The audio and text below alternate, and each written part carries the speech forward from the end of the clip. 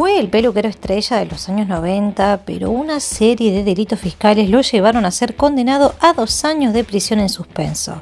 Hoy, en una nueva edición de Los Papeloneros, veremos el auge y la caída de Roberto Giordano. No hay forma más sencilla de hacer trading que con los amigos de IQ Option.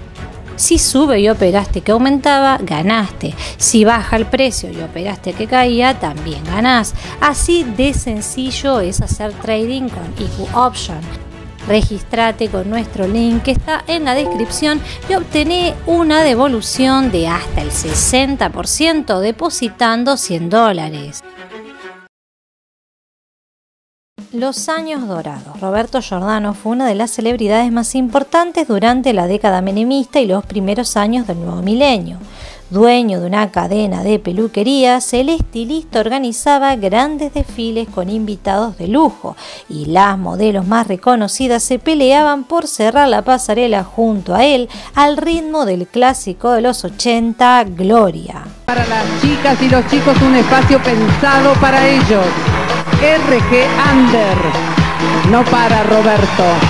Con cuatro salones más en Chile, 15 en Argentina, Colombia, Perú y Uruguay.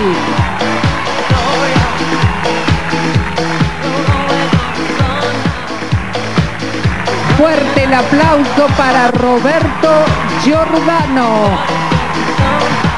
Felicitaciones, Roberto.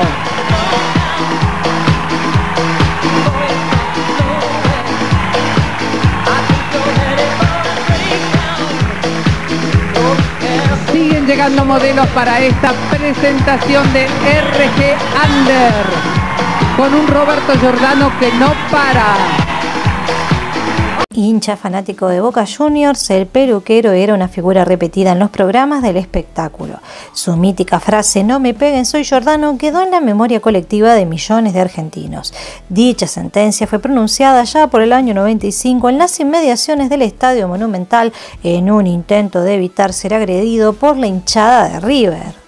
Es terrible. Y eso de no me peguen, soy Jordano, ¿cuándo, cuándo, te, ¿cuándo fue que te pegaron? Bueno, pero fue, me pegaron, me mataron casi. Fue, mira, salíamos del estadio, eh, eh, era un partido 0 a 0, y, y- y mis hijos con la bandera de Boca salimos al final, por la General Belgrano, por la platea, el esplayón grande de River, y salen ellos y vienen unos chicos a pegarle, a matarlos. Y, y le golpe, golpe, golpe, golpe, golpe. Chicos, corran, chicos. No, no, por favor, no me lo maten a mis hijos. Sí. Agarré y me puse adelante y me bajaron a mí, te, digo, trompada y golpe. ¡Ay! Y, me- y esta pierna me la hicieron nueva. Estuve dos años sin caminar. Te digo, desde acá hasta acá tengo la cicatriz más, te digo, más impo- importante de mi vida. Ay, qué horror. Es impresionante. No se puede. Ah, No, no, ir, no. A ir al partido con tus hijos y que te pase esto. No, eso nunca más. ¿eh? Es una cosa. Voy a Boca, que tengo mi palco, pero eh, he ido, ido a ver a Boca con peluca. Pero es una cosa que con no se peluca, puede con peluca.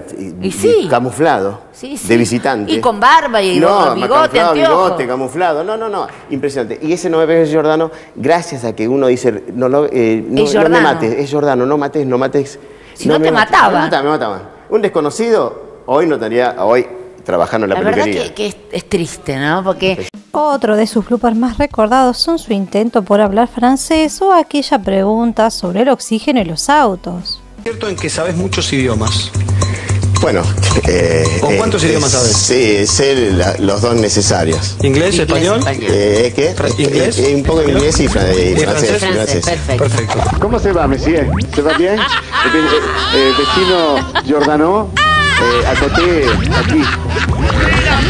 Muy bien, ¿eh? Super. Después mostré, mostré. El filé, el filé. Ah, miren, qué lindo.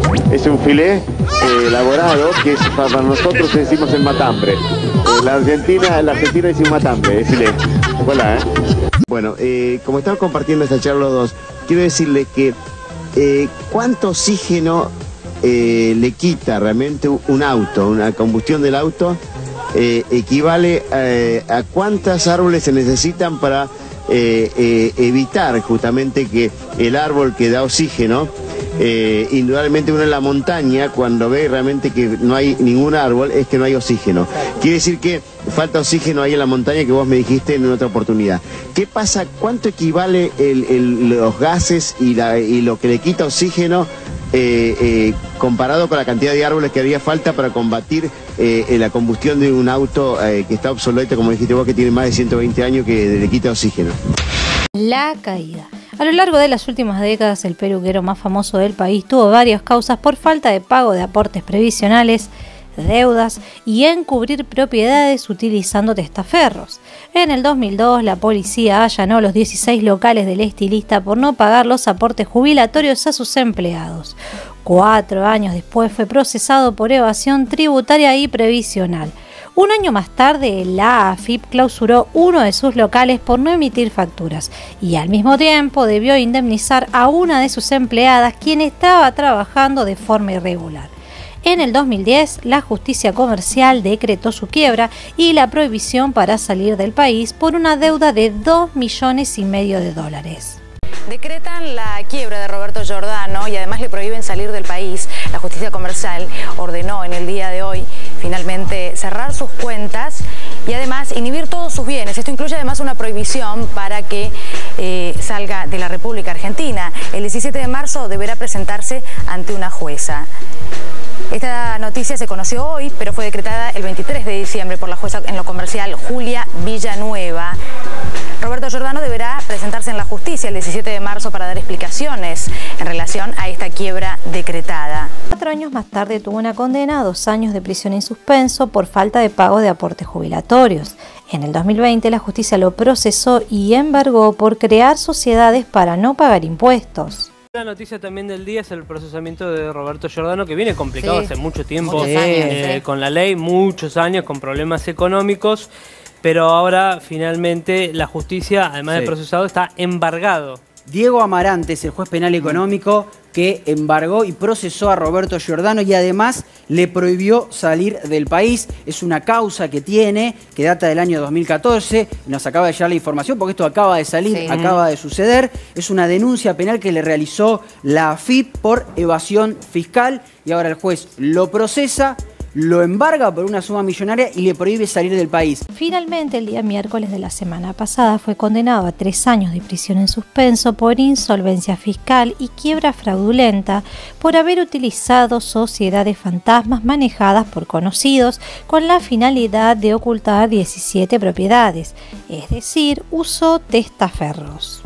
Bueno, y él decía que estaba quebrado, que no tenía un mango, pero al final parece que algo tenía condenado. Algo, Valentería, algo y mucho más, porque después de seis años de una gran investigación se determinó que Roberto Giordano, en realidad él mismo, se declara culpable eh, de ocultarle bienes a la justicia, sí, y pactó un juicio abreviado. A ver, se los voy a llevar para que ustedes entiendan, le voy a pedir a Diego que me ayude. Estamos hablando de que el peluquero le dijo a la FIP, después de seis años, que él no tenía absolutamente nada. En el medio creó Empresa Fantasmas, se ah. puso testaferros. ¿Por qué? Porque tenía 17 propiedades. Estas 17 propiedades lo que hizo fue repartirla entre algunos comerciantes que estaban bien económicamente, otros peluqueros. pero la justicia decía, claro, claro, la justicia en la actualidad vive en Uruguay totalmente alejado de los flashes mediáticos. El peluquero se comunicó con la Nación y en una entrevista le dio su parecer respecto al fallo de la justicia. ¿Cómo le afecta económicamente la decisión judicial? La salud es lo más importante. Yo lo que necesito ahora es que me den bien los estudios de los resultados en Argentina, porque la médica que me atiende acá me manda para allá pero estoy muy bien con mi hijo que vive acá. Él trabaja muy bien y estoy con él en su casa y voy a pensar siempre que la página hay que dar la vuelta. Yo ya lo hice, lo económico va y viene. Aparte, todas las propiedades las había comprado hace 30 años. Hace 30 años. La Argentina va 30 años para atrás. Es normal. Yo tenía 500 empleados, hice un emporio y ahora di vuelta a la página. Dice que lo más importante es la salud, que la plata va y viene, pero fue juzgado por manejo fraudulento de sus bienes. No, no, no. Eso hay que hablarlo con mis abogados. Yo no voy a hacer ninguna referencia al pasado. Yo di vuelta a la página. El que se sintió afectado es su problema. El tema legal lo manejan ellos. Yo solo hablo del tema salud y que para mí lo más importante es que di vuelta a la página y que soy argentino y amo a la Argentina y quiero que a mi ley le vaya bien. Si les gustó el video, denle like, suscríbanse a nuestro canal y háganle clic a la campanita de notificaciones.